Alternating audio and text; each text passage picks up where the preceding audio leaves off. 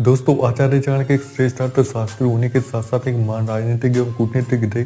उनके द्वारा बताई गई चाणक्य नीति को सीखने से आप जीवन किसी समस्या को आसानी से सुलझा सकते हैं। साथ ही साथ चाणक्य नीति का ज्ञान आपके लक्ष्य को पूरा करने में भी सहायक सिद्ध हो सकता है। दोस्तों, रात में स्त्री के साथ चुपके से ये काम करने से व्यक्ति रंग से राजा बन जाता है, आचार्य चाणक्य जी कहते हैं। अगर बनना है सफल तो इसे रोज रात में पत्नी के साथ करना चाहिए। और कभी किसी को नहीं बताना चाहिए दोस्तों, कुछ ऐसे काम होते हैं जिन्हें रात में स्त्री के साथ करने से व्यक्ति को सफलता प्राप्त करने से कोई नहीं रोक सकता।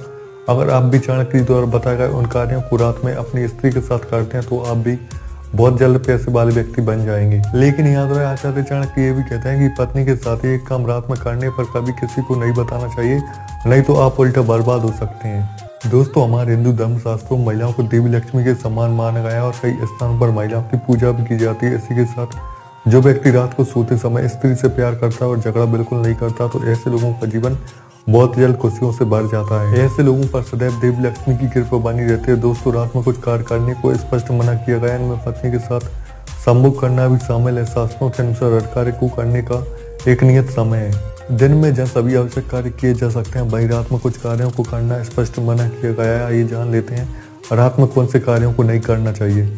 कुछ लोग रात में सोने से पहले इत्र या सेंट लगाकर सोते हैं। शास्त्रों के अनुसार किसी भी तरह तेज खुशबू अलौकिक शक्तियों को आकर्षित करती है, इसलिए रात में सोने से पहले आत्मा और चेहरा धोकर ईश्वर का ध्यान करना चाहिए, इससे बुरे सपने आते। नंबर दो कोले बाल नहीं सोना चाहिए। रात में महिलाओं को, लड़कियों को कोले बाल छोड़कर नहीं सोना चाहिए। माना जाता है कि रात में कोले बाल सोने पर नकारात्मक शक्तियाँ आकर्षित होती हैं। तीसरी चीज़ है, आधी रात के बाद शारीरिक संबंध न बनाए शास्त्रों के अनुसार बारह बजे के बाद अगला दिन शुरू हो जाता है। ऐसे समय पर व्यक्ति की मानसिक और आध्यात्मिक शक्तियाँ जागृत होती हैं, इसलिए मध्य रात्रि के एक प्रहर बाद ब्रह्म मुहूर्त आरंभ हो जाता है। ऐसे समय पर व्यक्ति को भगवान की आरती व पूजा पाठ करना चाहिए। इस समय भूलकर भी शारीरिक संबंध नहीं बनाना चाहिए। इससे व्यक्ति का बुरा भक्त आरंभ हो जाता है। शारीरिक संबंध बनाने के लिए सबसे अच्छा समय ब्रह्म मुहूर्त के एक प्रेयर पहले अर्थात सुबह तीन बजे से पहले का ही ठीक माना जाता है। तो दोस्तों, ये थी कुछ जानकारी पति पत्नी को रात में क्या करना चाहिए और क्या नहीं। दोस्तों, जाने से पहले बस यही कहूँगा।